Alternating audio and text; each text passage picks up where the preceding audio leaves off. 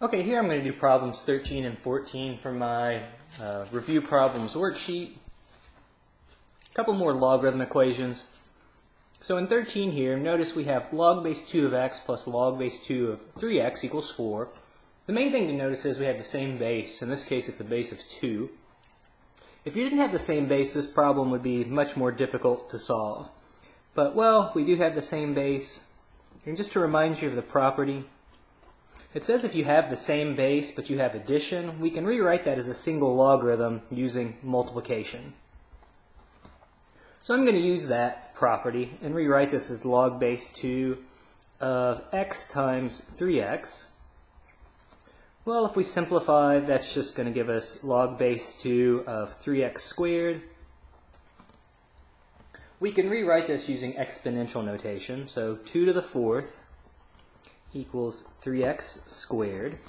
2 to the fourth is just going to give us 16. We can also divide both sides by 3. If we take the square root of both sides, we'll get positive negative square root of 16 over 3 equals x. So a couple remarks. First off, I'm going to simplify the radical. So we can rewrite that, as, rewrite that as the square root of 16 over the square root of 3, which will give us 4 over root 3. And if you want to rationalize that, you can multiply the numerator and denominator by the square root of 3. So it says we have the potential solutions of positive 4 root 3 and negative, uh, excuse me, positive 4 root 3 over 3 and negative 4 root 3 over 3.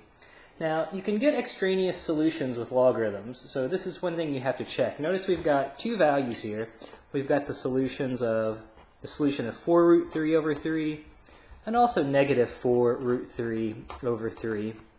Recall that the domain of a logarithm, recall that that's what a logarithm looks like. So there's log base a of x. That's if the base is greater than 1. Just to remind you on graphing also real quick here. What this graph says, it says the domain of a logarithm with a, a base greater than 1, and also if, it, if the base is between 0 and 1, it says the domain are all numbers strictly greater than 0. It's kind of like a square root. You don't want to put a negative number in a square root. I mean, you can get complex numbers, but you don't get a, a real number. Notice if we try to use our negative 4 root 3 over 3, well, if we put that into our logarithm, either one of the terms, we're going to get a negative number. That's going to make it undefined. So that negative value is not going to be a solution. You can check, though, that the 4 root 3 over 3 does check out and works. Okay, so just one solution to that first equation. Okay, so number two, the only kind of difference here is now we have subtraction two properties here. Uh, we saw in the previous video that if it's an exponent, it can come out as a coefficient. Well, likewise, if it's a coefficient, you can rewrite it as an exponent. So that's what I'm going to do in my first step. I'm going to put the 2 upstairs on the x and have x squared. And then the other property is, well, okay, so addition turns into multiplication. Division excuse me, uh, subtraction, I gave it away. Subtraction turns into division. And again, notice it groups into a single logarithm. Okay, so you had two logarithms. There's a uh, with the same base. There's a minus in between. You have a logarithm with the same base, but now it is division. Okay, so the first thing I'm going to do, just like I said, I'm going to put that coefficient upstairs as an exponent, so we'll have log base 4 of x squared. Not going to do anything with the second term. So now I can rewrite this using division.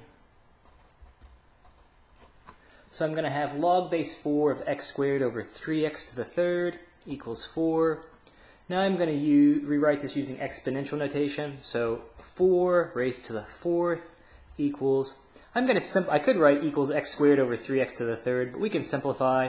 That's just going to be 1 over 3x.